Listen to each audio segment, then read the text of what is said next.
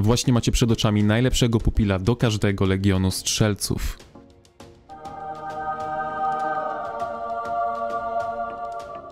Siemaneczko z tej strony Anioł, witam cię serdecznie na moim kanale. W tym odcinku przyjrzymy się zupełnie nowemu pupilowi, który jest dostępny od sezonu pierwszego, więc każdy nowy gracz ma do niego dostęp. Mowa oczywiście o mantykorze cienistej. Poza tym, że wygląda naprawdę świetnie, a bałem się, nie będę ukrywał, że troszkę się bałem, że dostaniemy znowu albo jakiegoś ptaka w innych kolorach, albo jakiegoś niedźwiedzia w innych kolorach. Bałem się, że będziemy świadkami identycznej sytuacji, jak to miało miejsce, gdy wypuścili nowego Behemota. Mowa oczywiście o miazmatycznym gigancie, który jest zwykłym gigantem, tyle że zielonym. Tutaj na szczęście mamy zupełnie nowego pupila.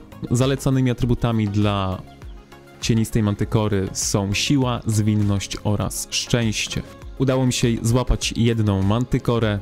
Siły ten pupil może mieć 300, zwinności może mieć 320, no i szczęścia może mieć 350. Zapamiętajcie te wartości, bo to właśnie na nich będziemy bazować przy obliczaniu obrażeń, jakie ten pupil może zadać. Ale zanim przejdziemy do obliczeń, oczywiście zapraszam do pozostawienia łapki w górę, suba, jeśli jeszcze tego nie robisz. Zapraszam również na Discord, możesz tam wbić, bo na moim Discordzie pojawią się właśnie te infografiki z filmu. Odświeżę również te starsze pupile w nowym stylu żebyśmy mieli w jednym miejscu bardzo łatwe porównanie siły poszczególnych pupili. Także bez przedłużania przejdźmy do buildu. Tutaj mamy build numer 1 oczywiście, 8 miejsc, maksymalne atrybuty. Przy maksymalnych atrybutach nasz talent zadawałby obrażenia o wysokości 330 współczynnika obrażeń.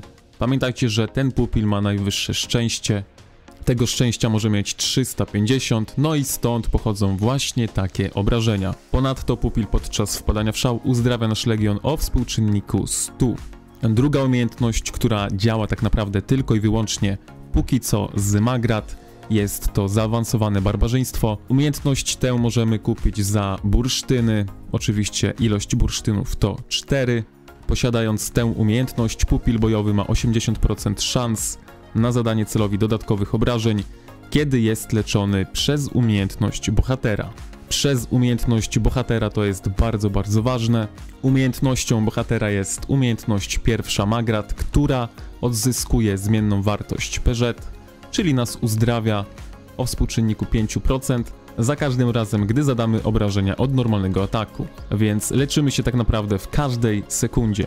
Żeby nie być gołosłownym, możecie to zobaczyć w raporcie Pierwsza sekunda mamy wyleczonych jednostek 8, e, druga sekunda wyleczonych jednostek 10, sekunda numer 3 wyleczonych jednostek 11.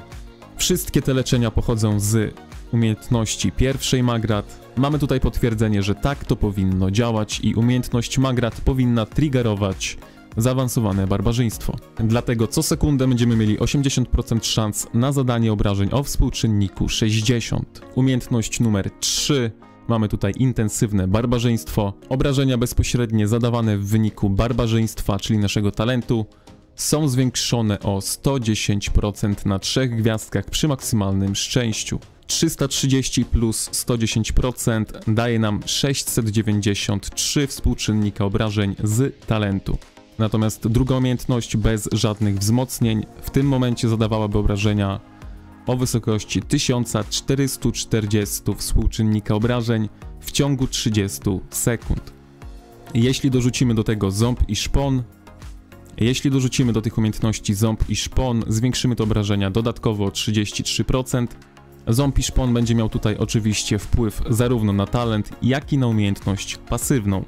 Nasz talent w tym momencie przy aktywacji zada obrażenia o wysokości 802 współczynnika obrażeń.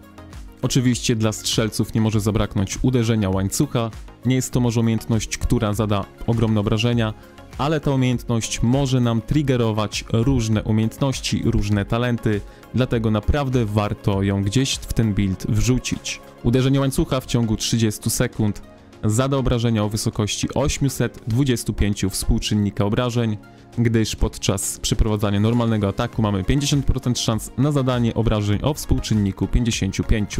50% z 30 sekund to 15, 15 razy 55 daje nam 825 współczynnika obrażeń. Warto zaznaczyć, że te obrażenia są obrażeniami od normalnego ataku, więc żadne wzmocnienie w tym buildzie nie będzie oddziaływało na tę umiejętność. Dorzućmy do tego 3 skille pod uderzenia krytyczne, które wszyscy dobrze znamy.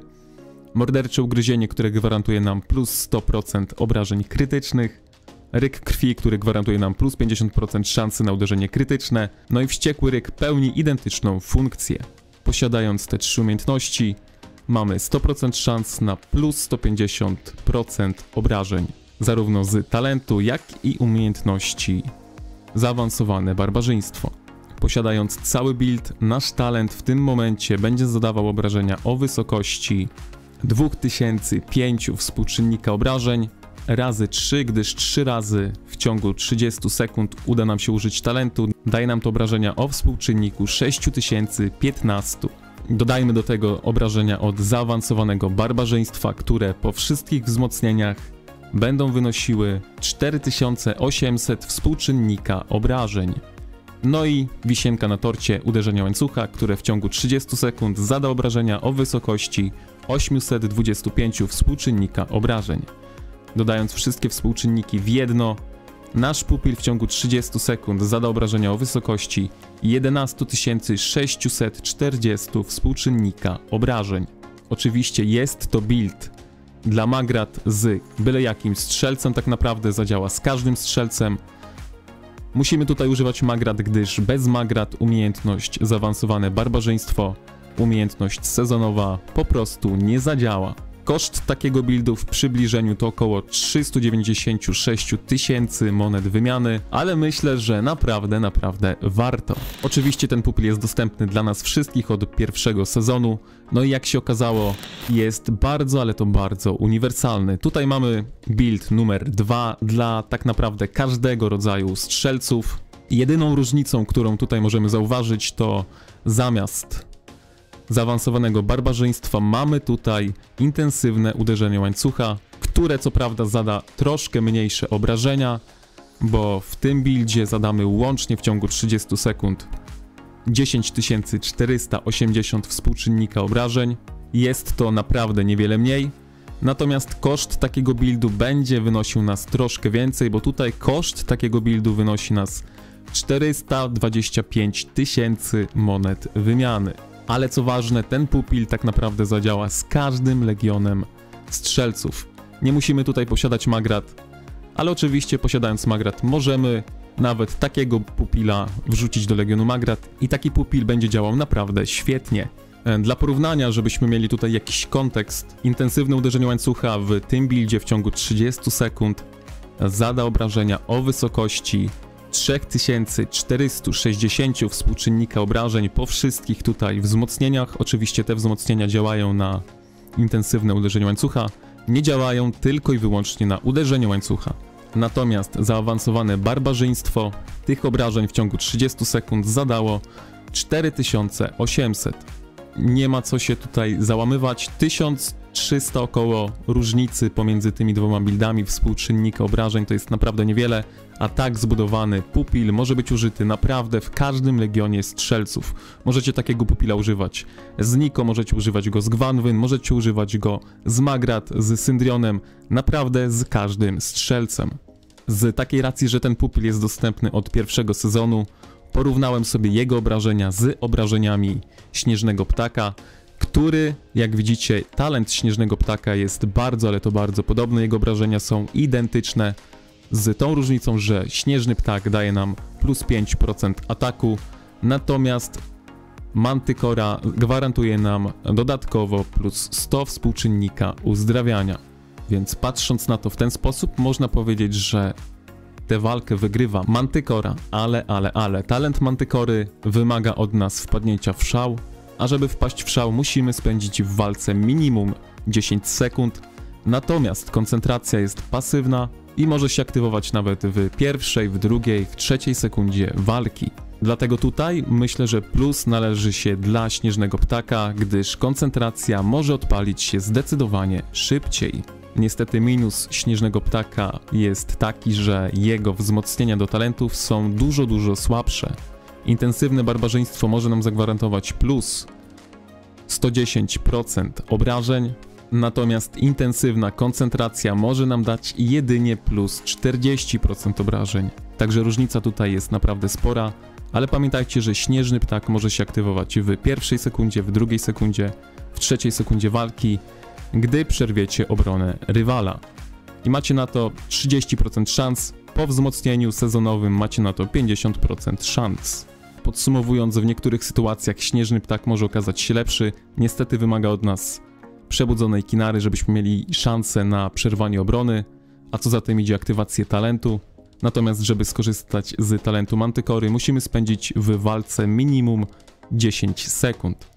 Dlatego jeśli jesteście na samym początku swojej podróży, to naprawdę polecam Wam tworzyć ten build, który tutaj macie na ekranie. Ten build zadziała z każdym rodzajem strzelców. Obrażenia są naprawdę duże. W ciągłej walce w takim olinie nawet większe od śnieżnego ptaka. Ten, kto ma śnieżnego ptaka, ten wie, że koncentracja jednak nie włącza się tak często. Natomiast Mantykora praktycznie gwarantuje nam, że zadamy te obrażenia, gdy spędzimy w walce minimum 10 sekund. Odpowiadając na pytanie, dla kogo jest Mantykora, Mantykora jest dla każdego strzelca, natomiast w buildzie, w którym mamy zaawansowane barbarzyństwo, jest to pupil póki co tylko i wyłącznie dla Magrat, ale do Magrat możemy dać byle jakiego strzelca. Z reguły i tak chcemy dać Zajdę. Tak wygląda sytuacja z Mantykorą. Jeśli jesteście ciekawi innych pupili w tym stylu, to również się odświeżę i myślę nad takim ogólnym zbiorczym filmie, w którym zrobiłbym porównanie wszystkich pupili i zrobilibyśmy sobie taki ranking, który pupil wypada najlepiej, który pupil wypada najgorzej. Jeśli nie chcecie przegapić takiego filmu, to oczywiście subskrybujcie ten kanał. Ja będę się tu z wami żegnał, wiecie co robić. Trzymajcie się. Elo.